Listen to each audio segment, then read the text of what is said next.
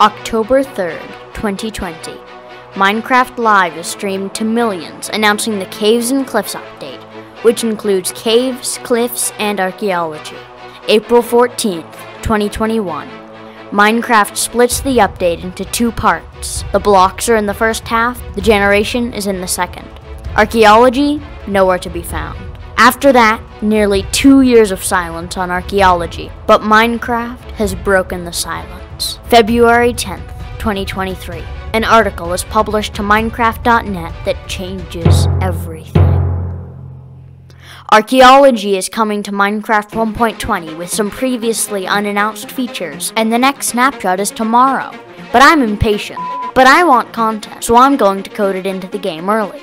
I started by modeling and texturing the clay pot. Then I textured the brush and pottery shard. After that, I got straight to work, coding it into the game with mCreator. And after a few days of work, it was done.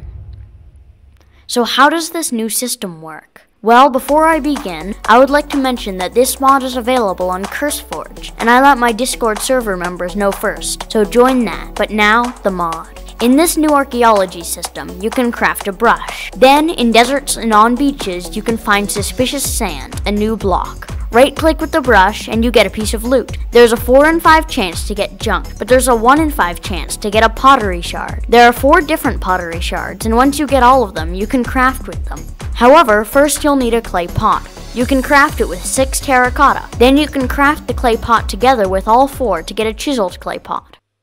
So, is that it? Well, it was, until yesterday, when Mojang announced that the sniffer eggs will be found in suspicious sand. Now, I'll update the mod soon, but I've already partially coded the sniffer into the game in this video, so watch that now.